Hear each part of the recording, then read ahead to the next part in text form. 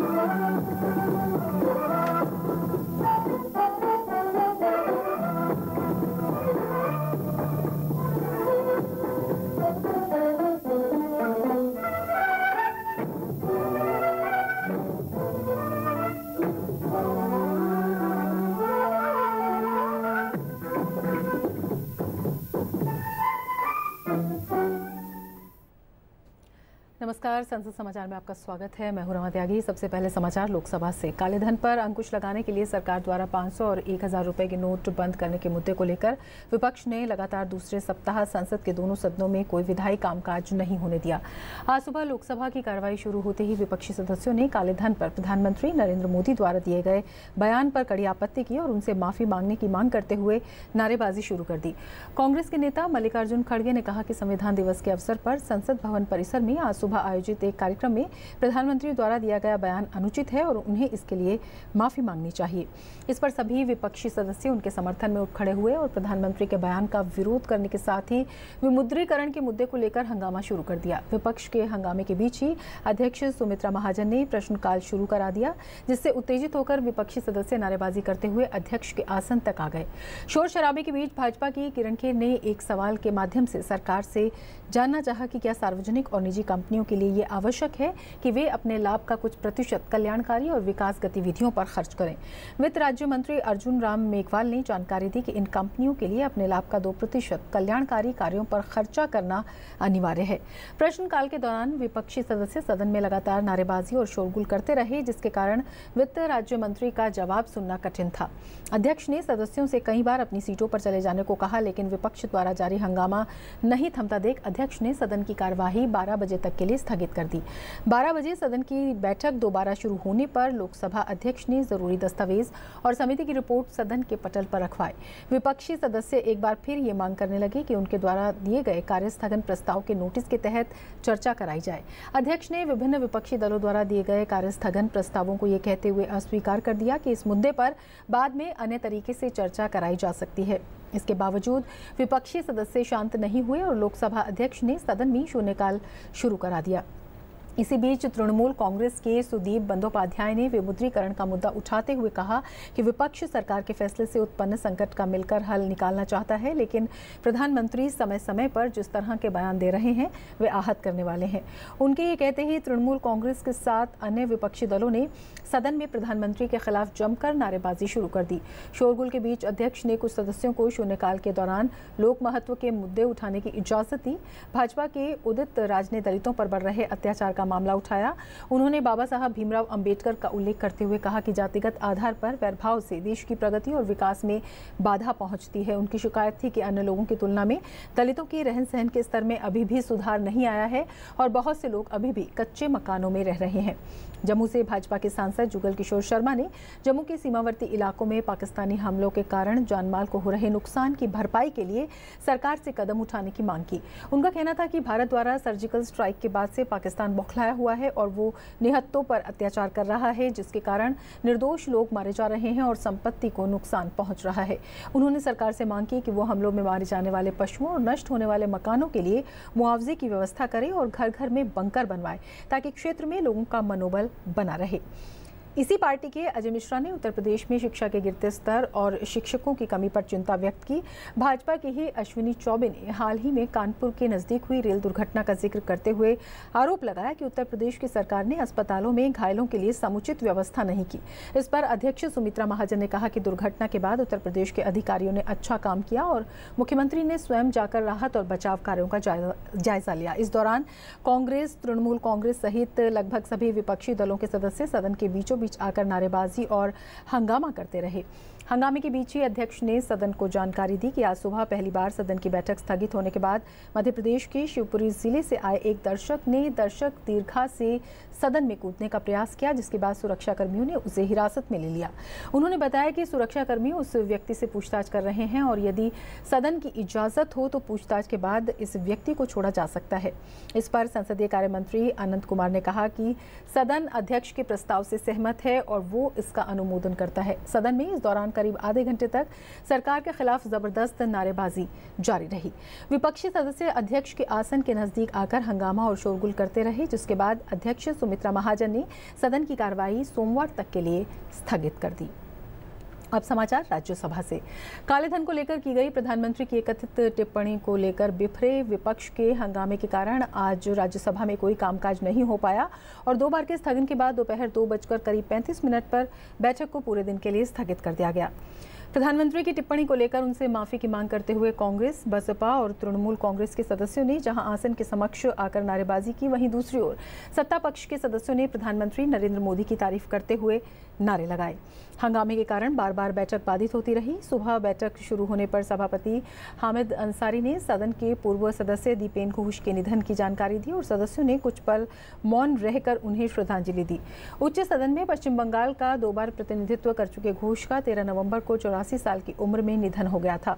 उन्हें श्रद्धांजलि देने के बाद आवश्यक दस्तावेज़ पटल पर रखवाए गए, लेकिन तभी बसपा प्रमुख मायावती ने कहा कि प्रधानमंत्री ने आज सुबह पूरे विपक्ष पर आरोप लगाया है कि उसे अपना कालाधन सफ़ेद करने का समय नहीं मिला। ये अत्यंत निंदनीय टिप्पणी है और प्रधानमंत्री ने ऐसा कहकर पूरे विपक्ष का अपमान किया है, जिसके लिए उन्हें माफ़ी मांगनी चाहिए। विपक्ष के नेता और कांग्रेस के वरिष्ठ सदस्य गुलाम नबी आज़ाद ने कहा कि कल विमुद्रीकरण के मुद्दे पर चर्चा के दौरान पूर्व प्रधानमंत्री मनमोहन सिंह और अन्य सदस्यों ने साफ़ शब्दों में कहा था कि विपक्ष काले धन के खिलाफ है। तो फिर प्रधानमंत्री ये आरोप कैसे लगा सकते हैं कि विपक्ष काले धन का पक्षधर है? विपक्ष के नेता आज़ाद ने कहा कि प्रधानमंत्री को अपनी टिप्पणी के लिए माफ़ी मांगनी चाहिए। इस बीच कांग्रेस, बसपा और तृणमूल कांग्रेस के सदस्य प्रधानमंत्री से माफ़ी की मांग करते हुए आसन के समक्ष आकर नारे लगाने लगे। हंगामे के बीच ही श्री कुरियन ने आवश्यक दस्तावेज़ पटल पर रखवाए। उन्होंने कहा कि पाँच रुपए और एक हज़ार के नोट अमाने किए जाने के मुद्दे पर चर्चा के लिए उन्हें आज़ाद की ओर से नियम दो सौ सड़सठ के तहत एक नोटिस मिला है। उन्होंने कहा कि अगर सदस्य चर्चा को आगे बढ़ाने के लिए राज़ी हैं तो वो नोटिस स्वीकार करने के लिए तैयार हैं। श्री आज़ाद ने कहा कि नोटिस में ये शर्त है कि प्रधानमंत्री सदन में आए, पूरी चर्चा सुने और उसका जवाब दें। उन्होंने कहा कि कल जब प्रधानमंत्री सदन में आए थे, तब उन्होंने पूरे विपक्ष की ओर से प्रधानमंत्री का स्वागत किया था और पूछा था कि क्या वो विमुद्रीकरण के मुद्दे पर चर्चा में हिस्सा लेने आए हैं या प्रश्नकाल के लिए आए हैं। श्री कुरियन ने कहा कि सदन के नेता और वित्त मंत्री श्री अरुण जेटली ने कल ही स्पष्ट कर दिया था कि प्रधानमंत्री आएँगे और चर्चा में हस्तक्षेप करेंगे। इस पर असहमति जताते हुए श्री आज़ाद ने कहा कि हमसे वादा किया गया था कि प्रधानमंत्री बहस खत्म होने तक सदन में रहेंगे, लेकिन वे चले गए और भोजनावकाश के बाद बैठक शुरू होने पर नहीं आए। विपक्ष के नेता ने कहा कि प्रधानमंत्री का आरोप है कि विपक्ष कालेधन का पक्षधर है। ये सदन का और पूरे विपक्ष का अपमान है। गौरतलब है कि प्रधानमंत्री मोदी ने आज सुबह एक पुस्तक विमोचन समारोह में कहा था कि विमुद्रीकरण के ऐलान से पहले सरकार की ओर से पूरी तैयारी नहीं होने की आलोचना करने वालों को इस बात की पीड़ा है कि उन्हें खुद तैयारी का समय नहीं मिला। अगर उन्हें बहत्तर घंटे तैयारी के लिए मिल गए होते तो वे प्रधानमंत्री की तारीफ़ कर रहे होते। बसपा प्रमुख मायावती ने कहा कि प्रधानमंत्री ने कहा कि अगर विपक्ष को पाँच सौ और एक हज़ार रुपये के नोट अमान्य करने से पहले बहत्तर घंटे का समय दे दिया जाता तो वे उनकी आलोचना करने के बजाय उनकी तारीफ़ करते। उन्होंने कहा कि पूरे विपक्ष को इस तरह बताना सरासर गलत है और उसके पास काला धन है। प्रधानमंत्री को अपनी टिप्पणियों के लिए विपक्ष से माफ़ी मांगनी चाहिए। जदयू के शरद यादव ने कहा कि प्रधानमंत्री ने विपक्ष पर अत्यंत गंभीर आरोप लगाए हैं और उन्हें इसके लिए माफ़ी मांगनी चाहिए। सपा के राम गोपाल यादव ने कहा कि प्रधानमंत्री द्वारा पूरे विपक्ष को काले धन का समर्थक बताने से अधिक शर्मनाक और कुछ नहीं हो सकता। तृणमूल कांग्रेस के डेरेक ओब्रायन ने कहा कि कल सदन में बहुत ही अच्छी चर्चा हुई, जिसमें सदस्यों ने काले धन का खुलकर विरोध किया। अब प्रधानमंत्री कह रहे हैं कि वे साधु हैं और हम सब शैतान हैं। उन्होंने कहा कि विपक्ष पर कालेधन का समर्थक होने का आरोप लगाने के लिए प्रधानमंत्री को माफ़ी मांगनी चाहिए। श्री कुरियन ने सदस्यों से शांत होने और बहस को आगे बढ़ाने की अपील की, लेकिन प्रधानमंत्री से माफ़ी की मांग को लेकर आसन के समक्ष कांग्रेस, बसपा और तृणमूल कांग्रेस के सदस्यों की नारेबाजी और सत्ता पक्ष के सदस्यों की प्रधानमंत्री के पक्ष में की जा रही नारेबाजी जारी रहने के कारण सदन में हंगामा होने लगा। सदन में व्यवस्था बनते ना देख श्री कुरियन ने ग्यारह बजकर करीब 20 मिनट पर बैठक को दोपहर 12 बजे तक के लिए स्थगित कर दिया। एक बार के स्थगन के बाद 12 बजे बैठक पुनः शुरू होने पर सदन में वही नज़ारा था। सभापति हामिद अंसारी ने सदस्यों से प्रश्नकाल चलने देने का आग्रह किया, लेकिन कांग्रेस सदस्यों ने आपत्ति जताई। विपक्षी नेता श्री गुलाम नबी आज़ाद ने सुबह प्रधानमंत्री द्वारा एक पुस्तक विमोचन समारोह के दौरान की गई टिप्पणी का ज़िक्र करते हुए कहा कि प्रधानमंत्री ने पूरे विपक्ष पर गंभीर आरोप लगा दिया। हंगामे के बीच ही संसदीय कार्य राज्य मंत्री मुख्तार अब्बास नकवी ये कहते हुए सुने गए कि प्रधानमंत्री के माफ़ी मांगने का सवाल ही नहीं उठता, बल्कि माफ़ी तो विपक्षी सदस्यों को मांगनी चाहिए। उन्होंने कहा, विपक्ष के पास कोई तर्क, कोई तथ्य, कोई मुद्दा नहीं है और वो बेवजह हंगामा कर कार्यवाही को बाधित करता है। प्रधानमंत्री के माफ़ी मांगने का सवाल ही नहीं उठता, बल्कि विपक्ष को देश से माफ़ी मांगनी चाहिए और देश उन्हें कभी माफ़ नहीं करेगा। इस बीच कांग्रेस, बसपा और तृणमूल कांग्रेस के सदस्य प्रधानमंत्री से माफ़ी की मांग करते हुए आसन के समक्ष आकर नारे लगाने लगे। सत्ता पक्ष के सदस्य अपने स्थान से आगे आकर प्रधानमंत्री की तारीफ़ करते हुए नारे लगाने लगे। सभापति अंसारी ने सदस्यों से शांत रहने और प्रश्नकाल चलने देने का आग्रह किया, लेकिन हंगामा थमते ना देख उन्होंने करीब बारह बजकर पाँच मिनट पर ही बैठक को दोपहर ढाई बजे तक के लिए स्थगित कर दिया।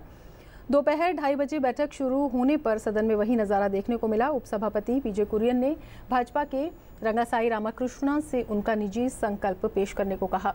इस बीच कांग्रेस के कई सदस्य प्रधानमंत्री के विरुद्ध नारेबाजी करते हुए सदन में आ गए। रामाकृष्णा ने हंगामे के बीच ही अपना संकल्प पेश किया। संकल्प पंचायती राज संस्थाओं के बारे में था। श्री कुरियन ने हंगामा कर रहे सदस्यों से शांत रहने और गैर सरकारी कामकाज सुचारू रूप से चलने देने को कहा। उल्लेखनीय है कि शुक्रवार को भोजनावकाश के बाद सदन में गैर सरकारी कामकाज होता है। सदन में हंगामे के बीच ही श्री कुरियन ने लोक महत्व के विषय संबंधित विशेष उल्लेख सदन के पटल पर रखवाए। सभा के सुरेंद्र सिंह नागर ने अपना उल्लेख सदन के पटल पर रखा। हंगामे के दौरान भाजपा के कुछ सदस्य भी कांग्रेसी सदस्यों के प्रधानमंत्री के विरुद्ध लगाए जाने वाले नारों का विरोध कर रहे थे।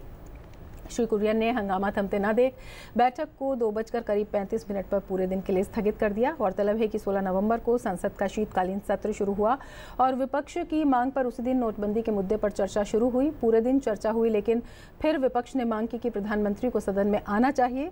पूरी चर्चा सुनना चाहिए और उसका जवाब देना चाहिए। विपक्ष की इसी मांग को लेकर गतिरोध बना हुआ है और उच्च सदन में इस सत्र की शुरुआत के बाद से शून्यकाल, प्रश्नकाल तथा कोई अन्य कामकाज नहीं हो पाया है।